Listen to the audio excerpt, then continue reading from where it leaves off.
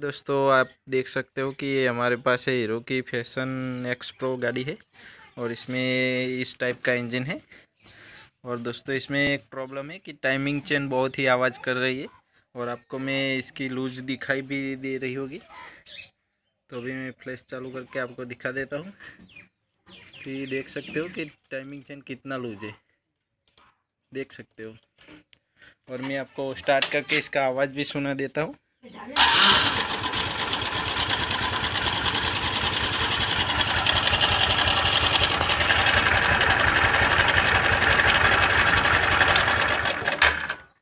दोस्तों, इसमें से ऑयल इतना निकला है। और अभी हम इसका टाइमिंग चेन रिप्लेस करेंगे तो सबसे मैंने पहले ये कैप खोल के इसका देख लिया कि टाइमिंग चेन बहुत लूज है। तो हम इसको खोला है अभी।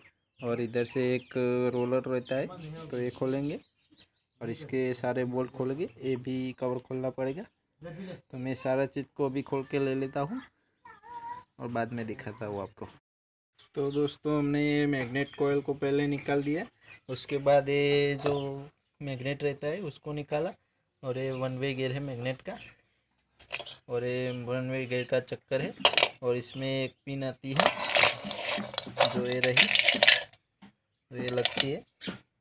तो इसमें देख सकते हो आप कि ये जो छोटा रोलर रहता है, वो कितना इधर आ चुका है और घिस गया है पूरा। तो हम इसको खोल के इसको चेक करेंगे। तो पट्टी सही रहेगा तो ही हम टाइमिंग चेन ऐसे ही डालेंगे, वरना इसको भी चेंज करेंगे। तो दस नंबर से हम ये खोल के ले लेते हैं और इसको भी खोल देंगे। और ये बारह नंबर का ऊपर में ये है सॉकेट तो इसको भी खोल के ले लेते हैं। देख सकते हो कि हमने ये भी चक्कर खोल दिया है और इधर के दोनों रोलर भी खोल दिए। और टाइमिंग चेन कितना लूज है आप देख सकते हो। और दोस्तों, ये भी रोलर ख़त्म है, जो इधर लगा हुआ था, वो। और दोस्तों, ऊपर में जो हेड में लगता है, ये सिलेंडर में, ये भी बहुत ही कट कट चुका है और कड़क भी हो चुका है। दोस्तों, ये कटा ना हो और कड़क भी हो जाए तो आप इसको रिप्लेस करेंगे तो ये अच्छा रहेगा।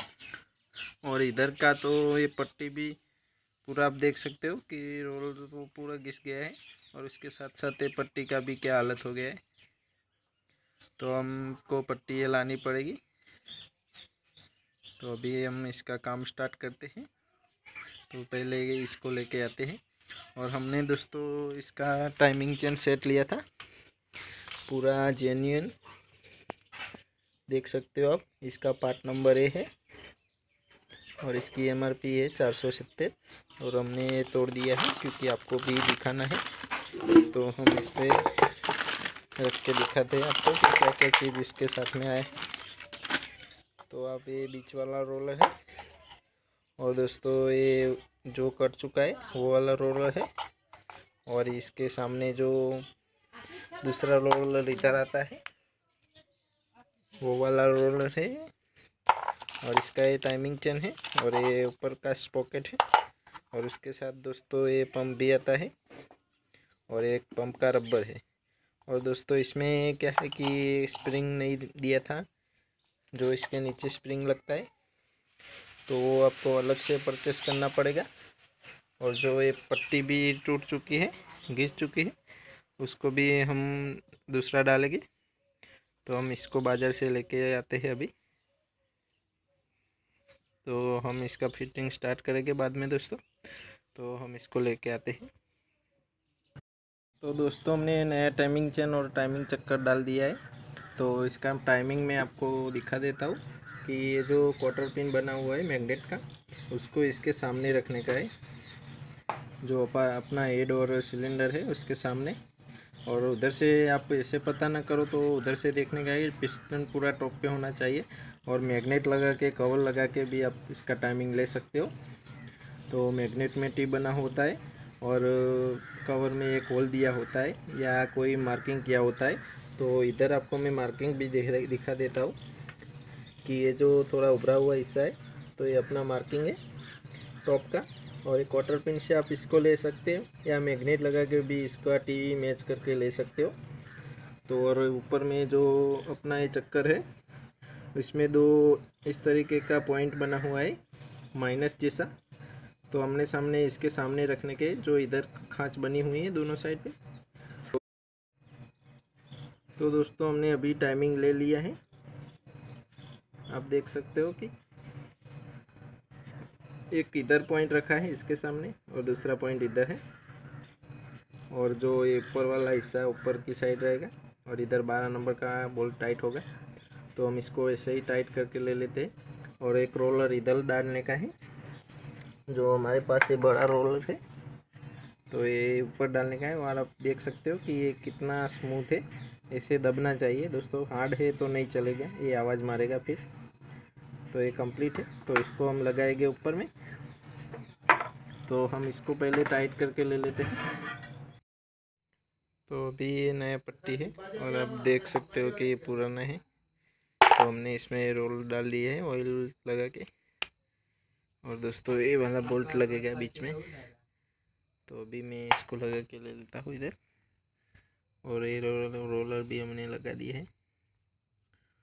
और ये फ्री होना चाहिए। तो अभी मैं इसको लगा कर ले लेता हूँ। तो इसको हमने टाइट कर लिया है और ये पंप भी डाल दिया है। और स्प्रिंग भी नया डाल दिया है। नीचे से चौदह नंबर का बोर्ड लगा दिया है। तो मैं इसको भी कंप्लीट फिटिंग कर देता हूँ मैग्नेट और कोयल को। तो उसके बाद मैं आपको आवाज़ सुनाता हूँ इसका। तो दोस्तों, हमने सारा चीज़ फिट कर लिया है और ऑयल भी डाल दिया है और हमने भी पेट्रोल भी डाला है इधर। तो अभी भीगा हुआ है पाइप। तो हम इसको स्टार्ट करके देखते हैं। तो ये अभी आप देख सकते हो कि इसका आवाज़ कितना स्मूथ हो गया है।